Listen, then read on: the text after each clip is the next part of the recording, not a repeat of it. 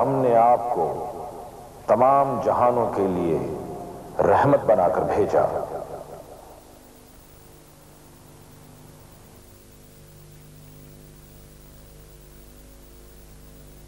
الحمد لله رب العالمين والصلاة والسلام على رسوله الكريم محمد وعلى آله وأصحابه أجمعين عزیزان گرامی، السلام علیکم۔ ہر نبی صاحب معجزہ ہوتا ہے۔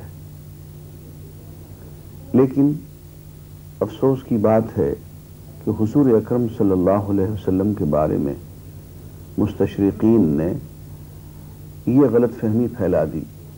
اور اس غلط فہمی میں کچھ ہمارے ہاں کے اسکالرز بھی شامل ہو گئے۔ وہ غلط فہمی یہ کہ حضور اکرم صلی اللہ علیہ وسلم کا کوئی معجزہ نہیں تھا۔ انسائکلوپیڈیا بریٹینیکا میں یہ بات لکھی ہوئی ہے کہ حضور اکرم صلی اللہ علیہ وسلم کا کوئی معجزہ نہیں تھا سوائے قرآن مجید کے۔ یہ بات واقعاتی طور پہ غلط بیانی ہے۔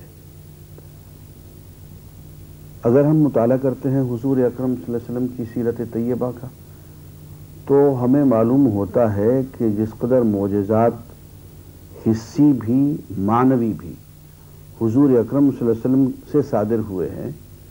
غالباً اتنے معجزات میرے علم کی حد تک کہیں اور ہمیں نظر نہیں آتے۔ پہلی بات یہ کہ معجزہ ہے کیا؟ کس چیز کو معجزہ کہتے ہیں؟ لفظ اس کا مطلب یہ ہے کہ وہ چیز جو انسان کو آجز کر دے۔ انسان بے بس ہو کے مد مقابل کی عظمت ماننے پہ مجبور ہو جائے، اسے معجزہ کہتے ہیں۔ عام طور پہ یہ سمجھا جاتا ہے کہ معجزہ وہ چیز ہے جو کہ خارق عادت ہے۔ فطرت سے، نیچر سے، روٹین سے ہٹی ہوئی چیز ہے، اس کو معجزہ کہہ دیتے ہیں۔ حالانکہ ایسا نہیں ہے۔ وہ تو سحر بھی فطرت سے ایک ہٹی ہوئی چیز ہوتی ہے۔ عام روٹین سے ہٹی ہوئی چیز ہوتی ہے۔ لیکن معجزہ میں اور جادو میں زمین آسمان کا فرق ہے۔ اور پیشتر اس کے کہ ہم معجزہ پہ گفتگو کریں اور حضور اکرم صلی اللہ علیہ وسلم کے وہ معجزات بیان کریں جن سے کہ انکار ممکن نہیں ہے۔ سب سے پہلے میں یہ بتانا پسند کروں گا کہ معجزہ میں اور سحر میں فرق کیا ہے۔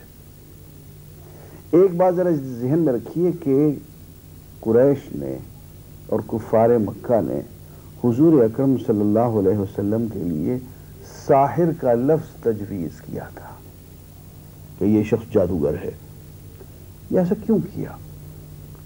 ظاہر ہے کہ اس وجہ سے کہ حضور اکرم صلی اللہ علیہ وسلم سے ایسے ایسے معجزات صادر ہوتے تھے کہ ان کے پاس سوائے اس کے کوئی اور توڑ نہیں تھا، رد نہیں تھا۔ یہ کہتے نہیں کہ یہ شخص جادوگر ہے۔ اب ایک معجزے کو جادو کہہ کے اسے جان چھوڑوانا یہ اپنی جگہ پہ ایک بدیانتی کی بات ہے۔ لیکن ایک بات تو ضرور ثابت ہے کہ حضور اکرم صلی اللہ علیہ وسلم کی زندگی سے ایسے امور، ایسے خوارق، ایسی چیزیں جو کہ بہت حیران کن تھیں، وہ صادر ہوتی تھیں اور روزمرہ صادر ہوتی تھیں، جن سے مجبور ہو کہ انہوں نے حضور اکرم صلی اللہ علیہ وسلم کا نام ساحر رکھ دیا، جادوگر ہے۔ لیکن ایک پڑھا لکھا انسان، ایک سمجھدار انسان، معجزے میں اور سحر میں فرق کر سکتا ہے۔ معجزہ کیا ہے؟ معجزے کا تعلق چھوٹی موٹی گری پڑی چیزوں سے نہیں ہوتا۔ دیکھیے، ہر زمانے کا کوئی فن ہوتا ہے۔ ایک فن جس میں کہ چوٹی کے علماء جس میں کہ حصہ لے رہے ہوتے۔ مثلا خود حضرت موسیٰ علیہ السلاۃ والسلام کے زمانے میں جو چیز عروج پہ ہمیں نظر آتی ہے، وہ سحر ہے، جادو ہے۔ اور حضرت موسیٰ علیہ السلاط والسلام کی مٹ بھیڑ بھی جادوگروں سے ہو گئی۔ وہ لے کے آ گئے اپنا سارا کمال کرتب۔ اور چند منٹوں کے اندر ہی جادوگروں کو پتا چل گیا کہ یہ سامنے مد مقابل جو شخص آیا ہے، یہ جو کچھ بھی ہو ہو کم از کم جادوگر نہیں ہے۔ اس لیے کہ اہل فن کو اپنے فن کا اور فنکار کا پتہ ہوتا ہے۔ ایک شاعر جب دوسرے شاعر کے ساتھ بیٹھتا ہے تو پانچ منٹ میں اس کو پتہ چل جاتا ہے کہ یہ شخص اتنا بڑا شاعر ہے۔ ایک طبیب جب دوسرے طبیب کے سامنے بیٹھتا ہے، پانچ سات منٹ کی گفتگو میں پتہ چل جاتا ہے اس کو یار یہ فزیشن ہے، ڈاکٹر ہے۔ ایک انجینئر جب کہیں سفر میں کوئی تعارف نہیں ہوتا ہے، لیکن جب گفتگو ہوتی ہے تو پانچ سات منٹ میں دوسرے کو پتہ چل جاتا ہے کہ یہ تو میرے فن کا آدمی ہے، یہ انجینئر ہے۔ ایسے ہی ایک ساحر کو جب دوسرے ساحر سے واسطہ پڑتا ہے، گفتگو ہوتی ہے، تو پانچ منٹ میں پتہ چلتا ہے کہ یہ شخص ساحر ہے اور مجھ سے بڑا ساحر ہے۔ یا اس درجے میں ہے، لیکن میرے فن کو جانتا ہے۔ لیکن جب تمام کے تمام ساحر مل کے یہ فیصلہ کر دیتے ہیں کہ آمن تو بے رب موسا کہ ہم موسا کے رب پہ ایمان لے آئے۔ یہ جو کچھ بھی ہو ہو، یہ سحر نہیں ہے۔ اس شخص نے جو کمال کیا ہے، وہ ہمارے بس سے بالکل باہر کی چیز ہے۔ وہ ہم، ہمارے فن سے بہت بلند چیز ہے۔ اس کو ٹرانسینڈ کر رہی ہے۔ اس کو موجودہ کہتے ہیں کہ صاحب فن جو اس دور کا سب سے بڑا فن ہے، اس فن کے چوٹی کے لوگ، چوٹی کے فنکار ہتھیار ڈال دیں۔ بھائی، ہمارے بس کی بات نہیں۔ اب دیکھیے حضرت عیسیٰ علیہ السلاط السلام کے زمانے کی بات۔ طب اس زمانے میں عروج پہ تھی۔ یہ جالینوس کا زمانہ ہے۔ یہ سقرات یہ وہ زمانہ ہے، جبکہ طب یونان اپنے عروج پہ اور زوروں پہ تھی۔ اب طبیب بڑے سے بڑے مرض کا علاج کر دے گا۔ لیکن اگر کوئی شخص آ کے مردے کو ہی زندہ کر دے، تو طبیب تو بیچارہ بے بس ہو گیا۔ وہ کہے گا، بھائی ٹھیک ہے، ہم ہر مرض کا علاج کر لیں گے۔ لیکن ایک شخص جہاں سے گزر گیا، اس کی موت کا ہم نے اعلان کر دیا، اس کی نبزیں ختم ہو گئی، اس کا دل بند ہو گیا، اس کا سانس ختم ہو گیا۔ اب ایک شخص آ کے کہہ دیتا ہے میاں، اللہ کے حکم سے، اللہ کی اجازت سے، میاں، ذرا زندہ ہو جاؤ اور وہ زندہ ہو جائے۔ تو بیچارہ طبیب تو وہاں نہ کر گڑ لے گا۔ یہ ہمارے بس کا کام نہیں ہے۔ یا ایسے امراض کا علاج کر دے، کوڑی کا، برس کا، جزام کا، ایسے امراض کا علاج کر دے، جس سے کہ طبیب بالکل آجز آ چکے ہیں، لا علاج قرار دے دیا ہو۔ لیکن ایک شخص آ کے ذرا سا ہاتھ پھیرے، اس کو ٹھیک ہو جائے۔ تو طبیبوں کو اور چوٹی کے طبیبوں کو ماننا پڑے گا کہ میاں، یہ جو کچھ ہوا، یہ جو بھی ہے، لیکن یہ طب نہیں ہے، یہ موجزہ ہے۔ تو صاحب فن، ہر دور کا صاحب فن ہوتا ہے۔ اور چوٹی کا صاحب فن جب اس بات کا اقرار کر لے کہ میاں ہم اس کے ٹکر کے لوگ نہیں ہیں۔ یہ بالکل نئی چیز لے کے آ گیا ہے۔ ہم اس کے سامنے آجز ہیں، اس کو موجزہ کہتے ہیں۔ حضور اکرم صلی اللہ علیہ وسلم کا زمانہ جو ہے، علم و ادب کا زمانہ ہے، خطابت کا زمانہ، شاعری کا زمانہ ہے۔ اس زمانے میں آپ اللہ کی طرف سے کلام لے کے آئے۔ اور آپ کا موجودہ یہ ہے کہ آپ نے کہا کہ چند اس کلام کے مقابلے کا کلام لے آؤ۔ سارے مل کے لے آؤ۔ اس جیسی ایک صورت بنا دو۔ ایس دس آیتیں لے کے آ جاؤ۔ اور دیکھو، فیصلے بھی اپنوں میں سے کروا لینا۔ اپنے لوگ، تمہاری چوپال کے لوگ جو تمہارے کلام پہ واہ واہ کرتے ہیں، ان سے فیصلہ کروا لینا۔ پت وہ شہدا من دون اللہ اللہ سے، اللہ کی جماعت سے ہٹ کے اپنے گواہوں کو لے آنا۔ ان کو تم صادقی اگر تم سچے ہو۔ بس آج یہ بھی کہہ دیا علم تفالو ولن تفالو اور دیکھو، اگر تم نہ کر سکے۔ اور کہہ دیتے ہیں کہ تم یہ کر بھی نہیں سکو گے۔ تمہارے بس میں بھی نہیں ہے۔ اور دیکھیں، چودہ سو سال گزر گئے۔ قرآن کی یہ آیت کی ولن تفالو تم قرآن کے ٹکر کا کلام نہیں لا سکو گے نہ صرف عربی میں، دنیا کی کسی زبان میں نہیں لا سکو گے اور یہ نہیں کہا ہے کہ تم کلام لے آؤ اور فیصلہ ہم کریں گے۔ نہیں نہیں، فیصلہ بھی خود کروا لینا۔ خود کلام لے کے آؤ سارے مل جل کے کوشش کر کے اور پھر اپنوں سے فیصلے کروا کے لے آؤ اور پھر اس پہ یہ وعدہ کر دیا، اس پہ یہ پیش گوئی کر دی کہ ایسا کبھی نہیں کر سکو گے۔ ایسا کبھی نہیں ہو سکے گا کہ تم ایک کلام گھڑ کے لے آؤ اور اس کلام کے بارے میں تمہارا یہ دعویٰ ہو کہ یہ قرآن کے مقابلے کا کلام ہے اور تمہارے اپنے ہی آدمی یہ فیصلہ کر دیں کہ واقعی یہ قرآن کی ٹکر کا کلام ہے۔ ایسا کبھی نہیں ہو سکے گا۔ اور دیکھو چودہ سال میں کبھی نہیں ہو سکا۔ اور ایسا نہیں ہے کہ یہ چیلنج ختم ہو چکا ہو، یہ چیلنج باقی ہے۔ دنیا کی تمام اقوام کو، دنیا کے تمام ادیبوں کو، شاعروں کو، دنیا کے تمام خطیبوں کو، فنکاروں کو to the all all literatures تمام نقادوں کو۔ اور صرف عرب کے لوگوں کو نہیں، ہر زبان کے لوگوں کو۔ ہر زبان میں ادب ہوتا ہے۔ کہ میں کسی زبان میں یہ لے کے آ جاؤ تم، اور اپنے ہی لوگوں سے فیصلہ کروا کے لے آؤ۔ فرمایا، یہی نہیں کر سکو گے۔ کہ تم اپنا کوئی کلام بناؤ اور پھر اپنے لوگوں سے یہ فیصلہ کروا دو کہ یہ قرآن کے مقابلے کا کلام ہے، ایسا بھی نہیں کر پاؤ گے۔ یہ موجزہ ہوتا ہے۔ ایک کھلا کھلا چیلنج یہاں میں مناسب سمجھتا ہوں کہ موجزہ میں اور سحر میں چند نکات فرق کے بیان کر دوں۔ ہر چیز کا ایک مزاج ہوتا ہے۔ معجزے کے مزاج میں خیر ہوتی ہے، سحر کے مزاج میں شر ہوتا ہے۔ دیکھیے قرآن مجید اس فرق کو یوں بیان کرتا ہے، ما يفرقون به بين المرء وزوجه وما هم بضارين به من احد الا باذن الله ويتعلمون ما يضرهم ولا ينفعهم یہ سحر کا جادو کا مزاج بیان ہے۔ کہ اس میں وہ اصل کام یہ کرتے ہیں زیادہ جس کی چلت پھرت ہوتی ہے کہ میاں بیوی کی آپس میں جدائی ڈال دیتے ہیں۔ کچھ ان میں ایسی حرکات ہوتی ہیں، کچھ نفسیاتی طور پہ میاں بیوی میں ایسی کیفیات پیدا کر دیتے ہیں کہ ان میں عداوت، دشمنی اور پھر ان میں جدائی پڑ جاتی ہے۔ یہ شہر کی کارستانی ہے۔ اور فرمایا بضارین بھی من احد الا باذن اللہ اور کسی کو بھی جو نقصان پہنچاتے ہیں، تو اللہ کی اذن، اللہ کی اجازت کے بغیر نہیں پا سکتے پہنچا سکتے۔ اس میں اللہ کا اذن شامل ہوتا ہے۔ اللہ کی دی ہوئی مہلت، یہ شر پھیلانے کی شامل ہوتی ہے۔ تبھی وہ کر سکتے ہیں، قادر مطلق نہیں ہوتے۔ اور پھر آگے فرمایا وہ یتعلمون ما يضرهم ولا ينفعهم۔ وہ ایسی ایسی چیزیں سیکھتی ہیں، سیکھتے ہیں جو ان کو نقصان پہنچاتی ہیں۔ ولا ينفعهم، ان کو نفع نہیں پہنچاتی۔ اب ہر معجزہ اپنے نتیجے کے اعتبار سے نفع پہنچاتا ہے اور سحر کا ہر عمل اپنے نتیجے کے اعتبار سے نقصان پہنچاتا ہے۔ یہ وہی بات ہے جو حضرت عیسیٰ علیہ السلام نے کہی کہ درخت اپنے پھل سے پہچانا جاتا ہے۔ معجزے کا پھل میٹھا ہوتا ہے، شیریں ہوتا ہے اور قوت آور ہوتا ہے، صحت آور ہوتا ہے۔ سحر کا پھل دیکھنے میں بے شک شیریں نظر آئے، لیکن اس میں زہر بھرا ہوا ہوتا ہے۔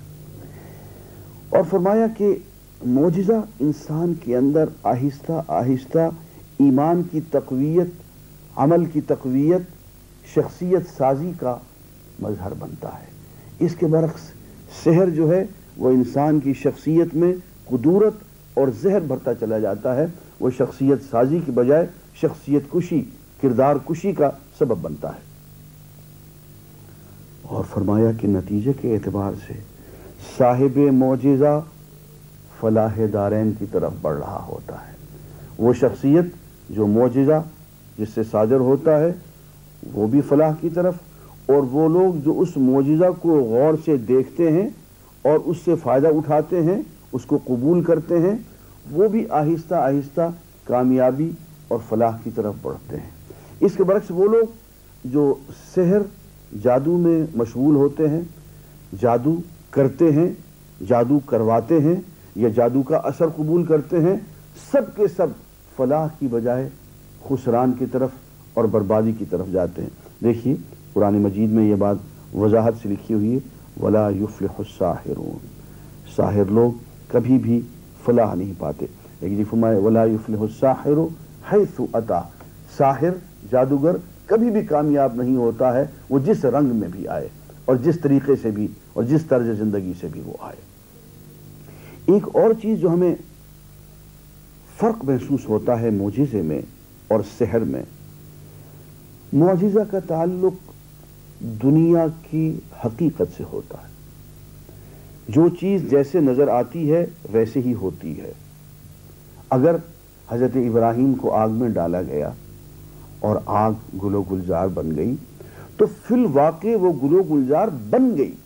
ایسا نہیں ہے کہ وہ دیکھنے میں وہ پھول اور وہ ہریالی نظر آئے اور اندر سے آگ ہی رہے۔ ایسا نہیں ہے۔ بلکہ اللہ تعالیٰ نے اس آگ کو گل و گلزار بنا دیا تو فی الواقع حقیقت میں وہ بن گئی۔ واقعتاً اس میں انقلاب آ گیا۔ اس کے برعکس، سحر میں اور جادو میں جو چیز ہوتی ہے، وہ عام طور پر واقعاتی نہیں ہوتی، وہ خیالی ہوتی ہے، وہ نظر بندی ہوتی ہے، وہ شعبہ بازی ہوتی ہے۔ اس کے اندر بازی گری ہوتی ہے۔ دیکھیے قرآن مجید یہ، ان رسیوں کے بارے میں جنہیں کہ دیکھ کے لوگ ڈر گئے کہ یہ تو سانپ ہے خود حضرت موسا ڈر گئے کہ یہ رسیاں یکلک سانپ بن گئیں۔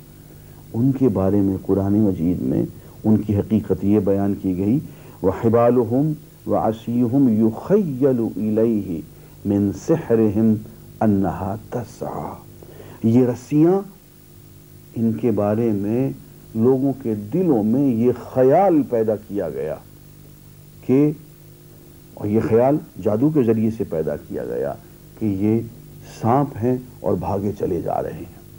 یعنی معلوم یہ ہوا کہ فی الواقع رسیاں ہی تھیں، لیکن دیکھنے میں وہ سانپ نظر آتی تھی کہ سانپ ہے اور دوڑے چلے آ رہے ہیں۔ تو اس میں ایک نظر بندی کی کیفیت ہوتی ہے، اس میں ایک خیال کی کیفیت ہوتی ہے۔ انسان کے خیال کو محدود کر دیا جاتا ہے یا اس کو خیال کو گمراہ کر دیا جاتا ہے۔ واقعاتی دنیا میں خاص تبدیلیاں نہیں ہوتی ہیں۔ یعنی حقیقی انقلاب نہیں ہوتا ہے، بلکہ ایک خیالی قسم کی دنیا ہوتی ہے وہ۔ اور ایک بہت بڑا فرق وہ یہ ہے کہ صاحب معجزہ صرف معجزے کے ذریعے سے ایک عمل کو آگے کو پیش نہیں کرتا ہے، بلکہ اس معجزے کے پس منظر میں اس کی پوری پاکیزہ زندگی ہوتی ہے۔ وہ ایک عمل نہیں ہوتا ہے معجزے کا، بلکہ وہ ایک کڑی ہوتی ہے اس کی پوری پاکیزہ زندگی کی۔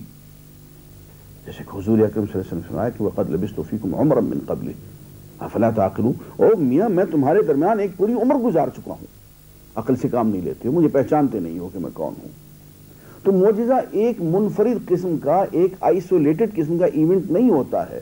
ایک الگ سا واقعہ نہیں ہوتا ہے، بلکہ نبی کی زندگی کے واقعات اور طویل سلسلہ واقعات کی ایک کڑی ہوتا ہے۔ اس کے برعکس۔ اور وہ پوری کی پوری زندگی پاکیزہ ہوتی ہے۔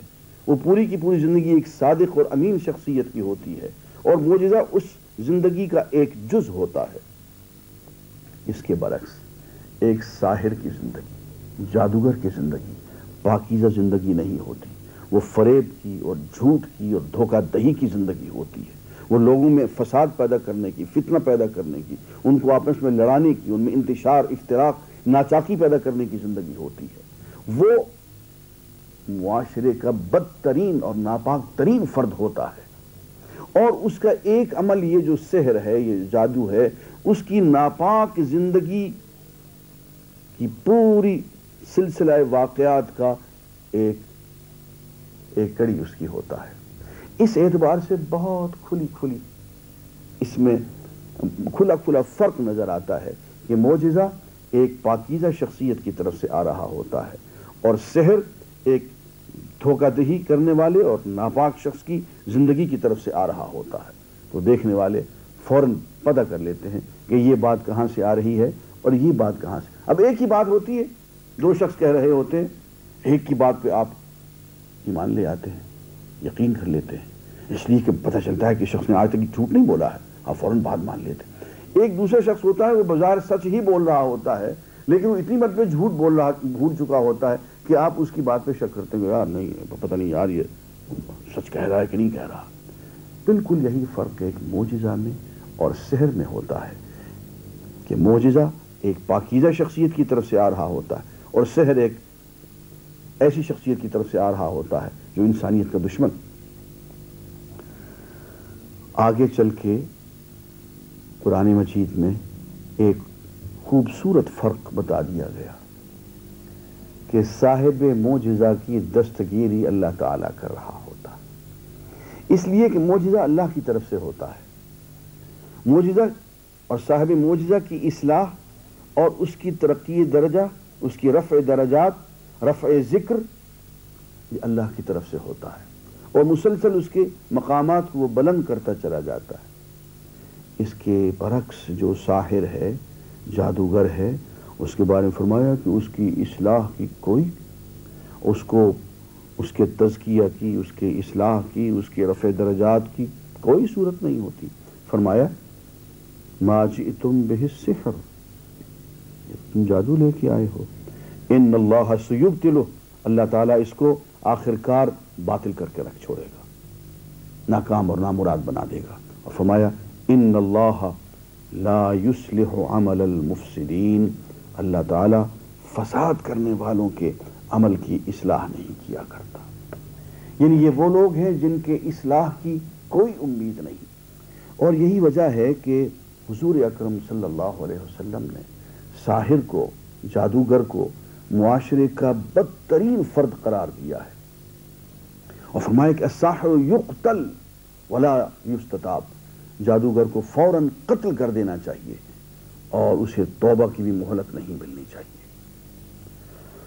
تو عزیزان گرامی، معجزے میں اور شہر میں یہ چند بنیادی نکات تھے جو میں نے بیان کیے، یہ دونوں میں فرق ہوتا ہے۔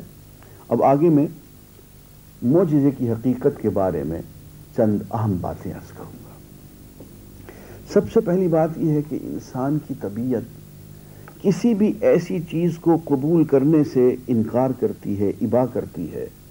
جو روٹین سے روز مرہ کے معمول سے ہٹ جائے۔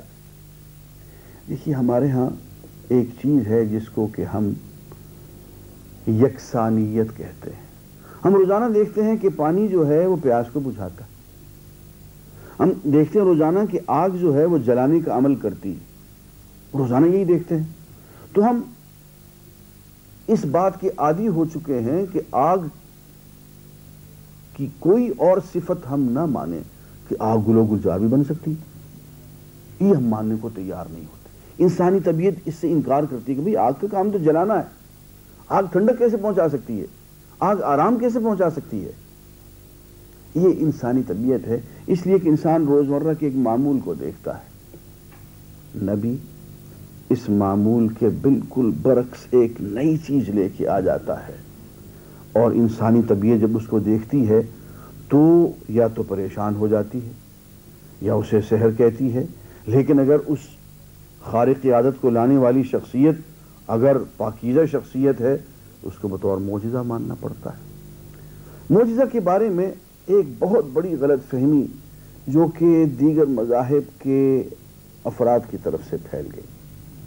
وہ یہ ہے کہ موجزہ لانے والا شخص نبی خود موجزہ لانے پہ قادر ہوتا ہے۔ ایک نبی جب چاہے، جس طرح کا چاہے موجزہ صادر کر سکتا ہے۔ He can come out with a miracle گویا کہ موجزہ پیش کرنا خود نبی کے اختیار میں ہوتا ہے، نبی کی قدرت میں ہوتا ہے۔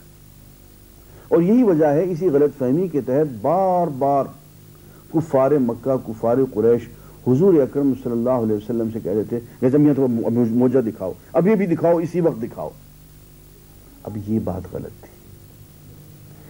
یہ بات حضور اکرم صلی اللہ علیہ وسلم نے بار بار کفار مکہ کو بتلائی کہ دیکھو میاں موجزہ صادر تو ہمارے ہاتھوں سے ہوتا ہے۔ نبی کے ہاتھوں سے صادر ہوتا ہے، لیکن اس موجزے کو صادر کرنے والی ذات اللہ تعالیٰ۔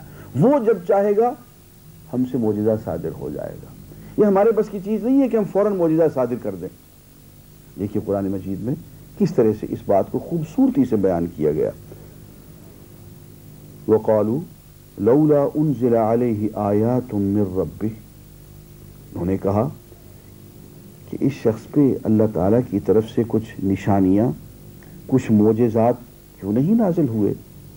قل اے نبی صلی اللہ علیہ وسلم ان کو بتا دیجیے ان نمل آیات عند اللہ، کہ یہ آیات جو ہوتی ہیں، یہ اللہ کی طرف سے ہوتی ہیں۔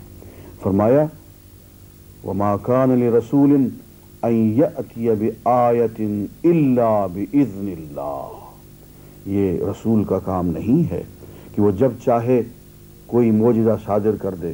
ہاں مگر اللہ کے حکم سے۔ یہ اللہ کا حکم ہوتا ہے اللہ کا اذن ہوتا ہے، اللہ کی مشیت ہوتی ہے کہ وہ جب چاہتے ہیں اپنے نبی صلی اللہ علیہ وسلم کے ہاتھوں سے بڑے سے بڑے بڑا معجزہ صادر کر دیتے ہیں۔ اللہ تعالیٰ نہ چاہیں تو نبی سے معجزہ صادر نہیں ہوتا۔ معجزہ صادر کرنا اللہ کا کام ہے، یہ نبی کا کام نہیں ہے۔ صادر نبی کی ذات سے ہی ہوگا۔ وہ کہیں علم غیب کی شکل میں ہوگا، کہیں پیشین گوئی کی شکل میں ہوگا، کہیں وہ بڑی سے بڑی حقیقت کے واشگاف ہونے سے ہوگا۔ ہوگا نبی کی طرف سے، مگر ہوگا اللہ کی مرضی سے، اللہ کی اجازت سے۔ وآخر دعوانا الحمد للہ رب العالمین۔